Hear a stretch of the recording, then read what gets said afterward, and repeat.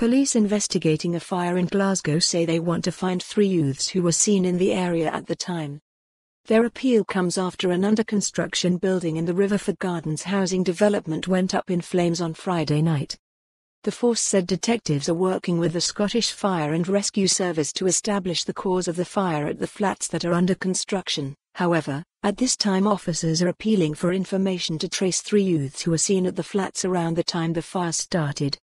Detective Constable Alyson Dowds said, We are working to identify the three people who were seen entering Riverford Gardens around 6 p.m. on Friday evening. They were in the area for about 15 minutes then left heading towards Riverford Road.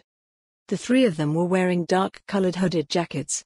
One of them had fair-colored hair and one had dark-colored hair.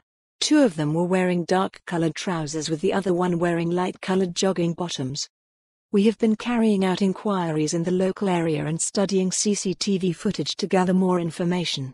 I would ask anyone who may have seen these youths in the area to contact Helen Street Police Station through 101 quoting reference number 3331 of 27th of December 2019.